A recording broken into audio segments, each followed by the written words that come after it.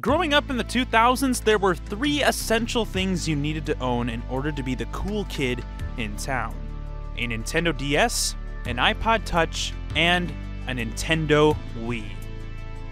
I had two out of three, that's pretty decent. Okay, so back in my younger days, it seemed like everyone, literally everyone, owned a Wii.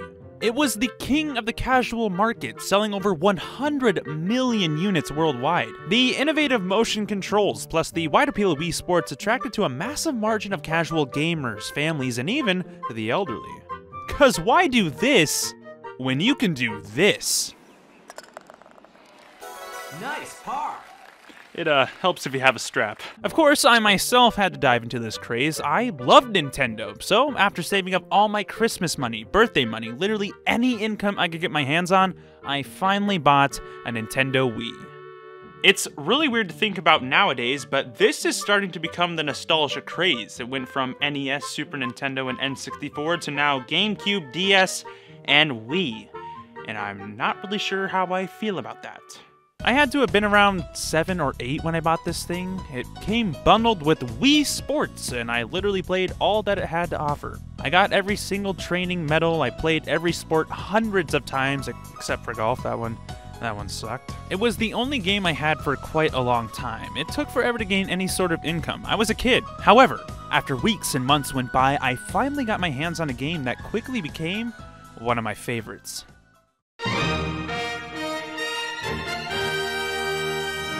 Gosh, that never gets old. Super Mario Galaxy, one of the most beloved games in the gaming community. A Mario game with a cool concept combined with a console that was selling like hotcakes was bound to be an extreme success. It was Mario in space. You don't see that every day. Super Mario Galaxy was the first official game I got for my Wii, aside from Wii Sports, and I absolutely loved it.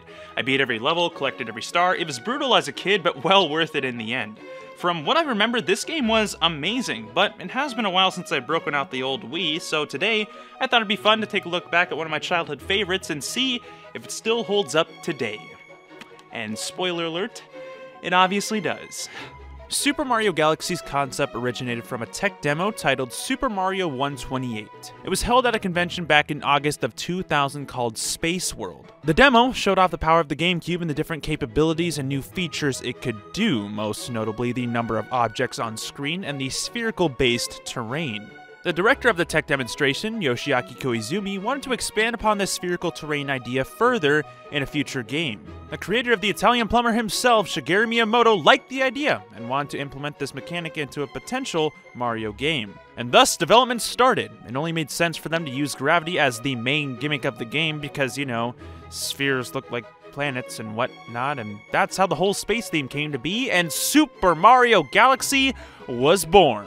The game released back in 2007 for the Wii and became one of the greatest hits on the gaming market. The end. Okay, we're done with the history lesson. Let's get into the actual game. So apparently, every 100 years, the Mushroom Kingdom hosts this Star Festival. A special comet flies across the land, dropping star bits and shooting stars, and to celebrate this occasion, they throw a big event all throughout the land. Peach invites Mario to the festival, only to be greeted by the big bad Bowser, who crashes the party and steals the princess. Similar to Paper Mario, Bowser decides to take the whole castle into outer space. Right before Mario tries to save Peach, Kamek comes out of nowhere and smacks him all the way onto a different planet, and now we're back to square one. Mario then gets greeted by these special space bunnies. You play a game of tag, they spawn this pedestal, and then you get greeted by everyone's favorite Mario Kart character, Rosalina. She then goes on this spiel about how she's the protector of the cosmos, and the only way to save Peach is by collecting the Grand Stars. She gives you a pet Luma, and boom, you're playing Mario Galaxy. Geez, I played this game a ton as a kid. The whole idea of Mario in space was so cool to me. The way you jump from planet to planet and run completely around little spheres of land felt so different, and while it does feel janky at first, you get used to it after a while. Graphically, the game looks amazing. Every planet is distinct and pops with color. But the game that involves space and tons of different planets and galaxies, there's a surprising amount of diversity, and it never got old and always came up with something new. The game has an incredible soundtrack as well. Everything was orchestrated, and it gave it a more powerful and grand feel to everything you were doing. Not only does it sound grand and magnificent, but it also has some of the most calming and beautiful pieces of music my ears have ever listened to. Mario controls about the same as any other 3D Mario, although he has a few more tricks up his sleeve. You got the essentials, the triple jump, wall jump, long jump, backflip, and side flip, but in this game you also have the new spin thing. I don't I don't really know what to call it. What's a Wii game without some motion controls? With just a little flick of the wrist with the Wii remote, Mario will use the new spin ability. This move is pretty versatile and is used to break objects, fight enemies, use launch stars, which by the way is one of the most satisfying things to do in this game. It also gives you a gust of height whenever you use it after a jump and helps with precise platforming or correcting yourself in midair. If you point the Wii remote at the sensor bar, a blue star cursor will pop up on screen. This mechanic is also pretty handy and is used as a little magnet for these items called star bits bits. You can use these star bits to stun enemies, and it can also be used as a currency to feed these hungry Lumas for specific missions. Some of the movement in this game kind of felt wonky compared to previous entries. Like, I'm not really sure if it was my nunchuck, but performing side flips was harder than it should have been. Triple jumps require more momentum than usual, and they also opted to not include any sort of fast movement like dives or rolls. Everything feels a little floatier, and yes, obviously you are in space, so it does make sense to have a less gravity feel to the game, but I think the main reason for this change was because of the franchise's shift in gameplay. The two games beforehand, Mario 64 and Sunshine, has big 3D sandbox worlds to mess around with, while Super Mario Galaxy is more on the linear side of things, focusing more on the platforming aspect of these games rather than the 3D open space. 64 and Sunshine had a lot of fancy movement to traverse through these larger worlds, but with this game having a more linear path to your objective, I guess they thought it was unneeded to add this type of stuff. The game has more of an emphasis on platforming, so having a floatier feel to your movement helps out with precise jumps in a 3D environment. Mario Galaxy was different from the rest, from the unique feeling of the gravity to the 3D linear level design. It was obvious they were trying something all new at this game, and ultimately, it paid off in the end. After collecting your first Grand Star, you're brought back to the Comet Observatory. This is the main hub of the game, where you run around and collect stars from tons of different planets. I will never forget this area. It was so cool being a part of this huge spaceship full of Lumas, and the music in this place is so iconic. The observatory is powered by Power Stars, the main collectible of the game. To get back to Peach, you'll be collecting these powerful Grand Stars to power the main hub and fly to Bowser to give him a fistful of justice. You get these stars by going to different planets and doing various missions and objectives. These missions vary from planet to planet, but they usually consist of fighting a boss or doing a certain task for someone. And can I just say that I'm impressed with the number of different bosses there are in this game. Almost every new galaxy had some sort of unique boss fight. One of my favorite things about Mario Galaxy is all the unique stuff you do. This game has a ton of variety and has you going around doing all sorts of stuff. One mission you'll be fighting a giant rock monster and the next thing you know it you're surfing on a manta ray racing through this humongous water obstacle course. It seems like every level has a new element or mechanic to use. However, with having so many new things being introduced all the time, I felt like certain mechanics got left in the dust and could have been expanded upon in a bigger way. Best example I can think of is the Red Star power up. You can use it to fly around for a little while, and you unlock it pretty late in the game, but you only use it once. Once in the entire game. That's like if you were a kid that got a sick new toy, played with it for 15 minutes, and couldn't play with it ever again. I mean, it's there. Why not use it? There are quite a few instances like this. I mean, yeah, there's tons of variety here. You always find something new, but I felt like some really cool ideas were just underutilized. I guess this is a good time to transition into the new power-ups. First up on our list is the Bee Shroom. It lets you hover above ground until your meter runs out. You can climb up and through honey substances, and since you are a bee, you can now stand on floating flowers. Honestly, not a big fan of this one. I like power-ups based on how they feel and how fun they are to use, and this one is just boring. The way you fly around is so slow and it limits your movement options. You can't backflip, you can't long jump, it's slow and just not that fun to use. I think it would have been cool if you could maybe use your stinger or have a faster way of moving, but yeah, this one is not that good. Next up is the Boo Shroom. I like this one better than the Bee Shroom, uh, but not by much. Again, there's not many things you can do with it, and it's just a little boring to use. You can shake the Wii Remote to turn invisible to phase through objects, you can use it for nothing else. Moving on, we have the Fire Flower. This lets you run around and throw fireballs, and it also has a time limit, which is a weird choice in my opinion. Next up is the Ice Flower. I like this one. You can run across water, you can freeze enemies. My only complaint is, again, it has a timer. It felt really cool skating across water, and I think out of all the items, this one was used the most creatively. But again, I think they could have expanded upon it just a little bit more. Like a couple of mechanics in this game, these items were heavily underutilized. They're sort of like glorified keys to get past certain areas. I think they should have put a little more time into making them more fun to use, give them more abilities. The concepts are there, I just think they should have taken a little more time to develop these items more in depth. And don't even get me started on the Spring Shroom.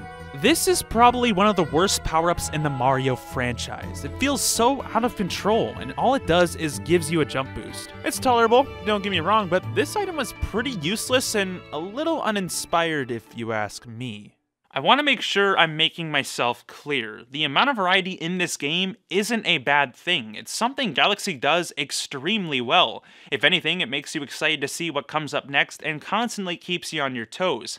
I'm just saying some concepts I really enjoyed got buried with more and more stuff and never got a chance to show its full potential, if that makes sense. Of course, with every Wii game that came out in the 2000s, Nintendo had to implement some sort of motion control gimmick, and Mario Galaxy is no exception. Every once in a while, the game will throw at you some sort of mission involving holding the Wii Remote in some awkward way. Rolling ball missions has you trying to balance a ball using the Wii Remote as a joystick. These missions sucked. The Manta Ray races had you twisting and pointing the Wii Remote at the screen. These missions broke my wrist. And finally, the garbage destruction minigames. And uh, all I'm gonna say is these missions are the worst stars to collect in the entire game. As a kid, it took me forever to collect these stars. You have a strict time limit, you almost have to be perfect with every bomb throw you do, and it's just terrible and not that enjoyable. These missions weren't my favorites. They felt gross, they weren't fun, and I wasn't a big fan. Another way Galaxy mixes up the standard format is the Prankster Comets, which are essentially extra challenges for more stars. These comets spawn randomly, and most of the time I would just be doing my own thing whenever they would pop up. I would collect a star, head back to the hub, go to the planet selection screen, and oh, oh, uh, okay, I, I guess we're doing this now. Every comet has a certain color corresponding to the challenge they have. The red ones are speedrun challenges, complete a previous mission under a certain time limit. The yellow ones are fast foe challenges, giving all the enemies and hazards extra speed. The white ones are Daredevil Comets, which for the most part have you trying to defeat a boss with just one piece of health. The blue ones are Cosmic Comets and challenge you to a race against a cosmic clone of yourself for a star. And finally, the Purple Comets. This comet has you collecting 100 purple coins within a specific galaxy. The way they handled this particular type of comet challenge was weird to me.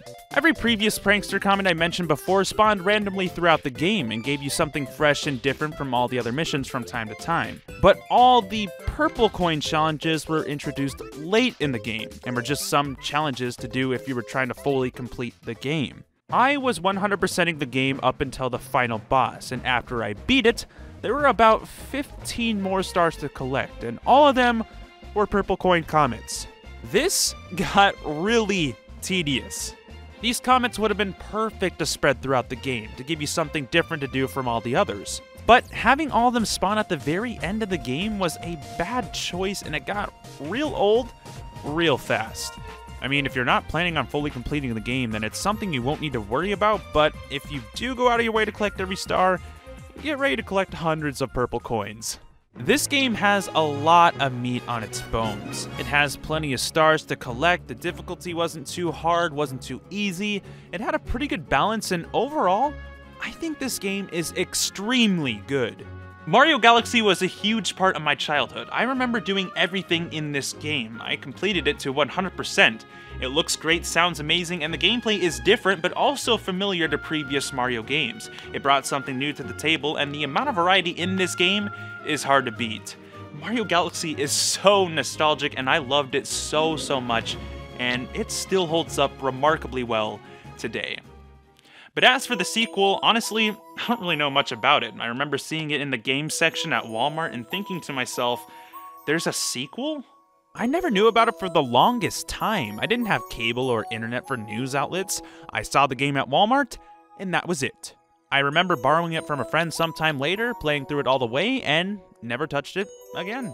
So I thought, why not kill two birds with one stone and not only tackle the first game, but the sequel as well. Development started right after Mario Galaxy 1. It was originally planned to be no more than a simple expansion, even having the nickname Super Mario Galaxy 1.5 during early stages of development. The team took all the scrapped ideas from the first game and kept adding more and more ideas to the point where they just said, screw it, let's just make it a sequel.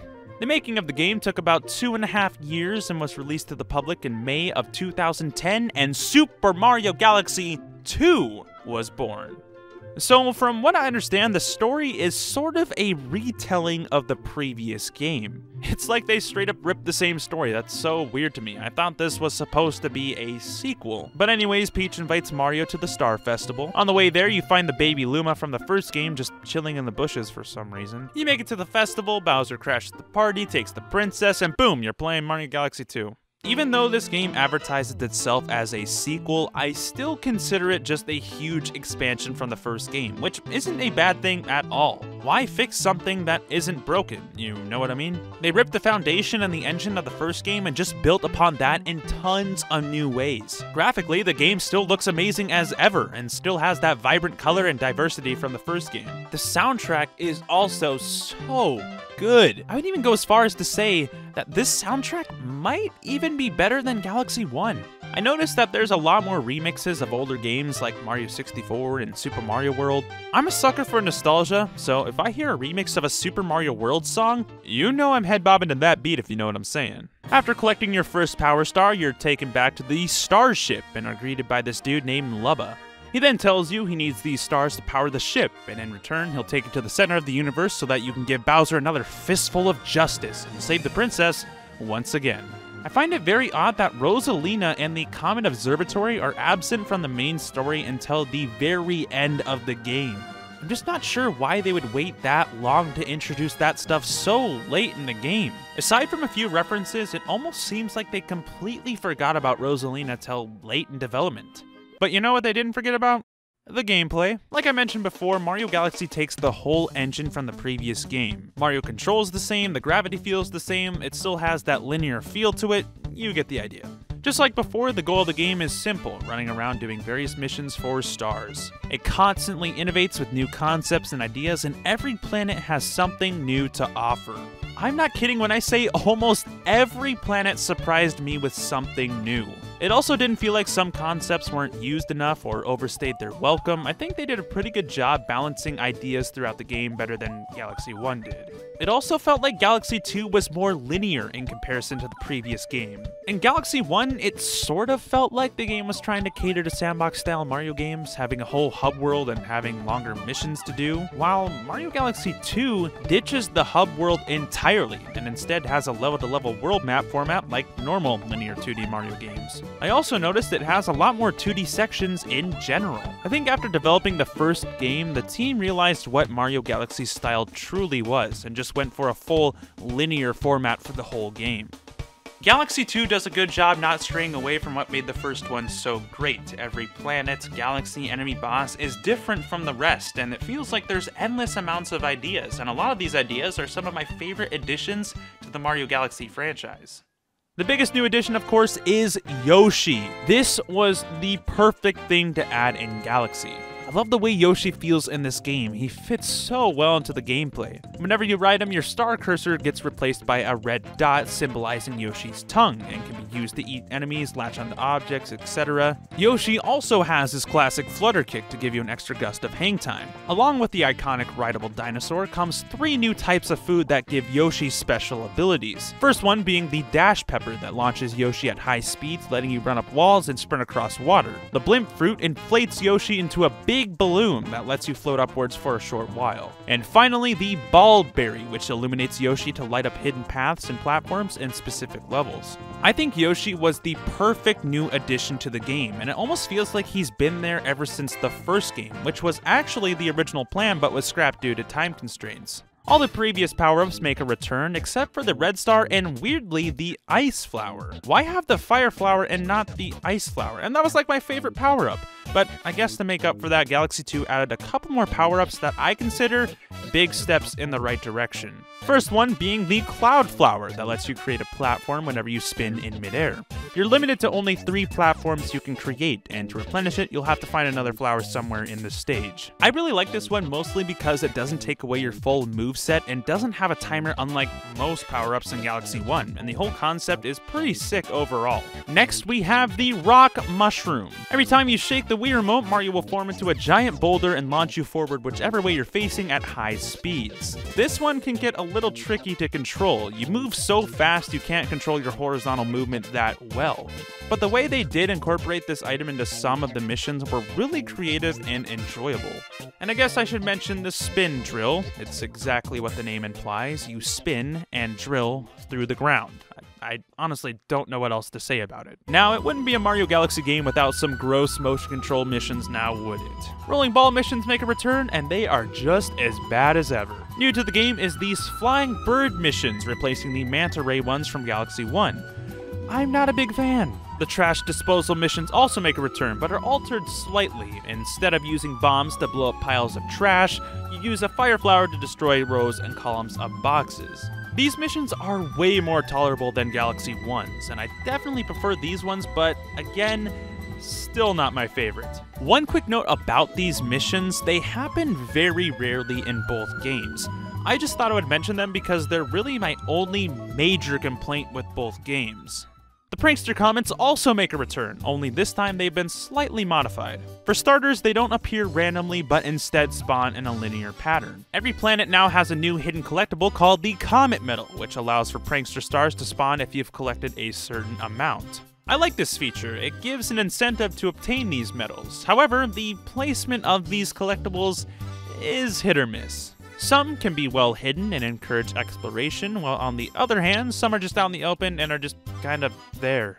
Also, the way they handled each prankster is, in my opinion, way better than Galaxy 1, most notably the purple coin comets. No more endgame exclusive pranksters. Each challenge is spread throughout the whole game, which is so much easier to digest. They even add a couple new types of challenges. The Romp Comet has you destroying a horde of enemies within a certain time limit. Double Time Comets increase the speed of certain hazards, replacing the Fast Foe Comets from Galaxy 1. Clone Comets has you doing a star mission, all while a group of cosmic clones copies every move you do, making it difficult to backtrack and constantly has you moving. This challenge replaces the cosmic clone races from the previous entry and offer a better challenge overall.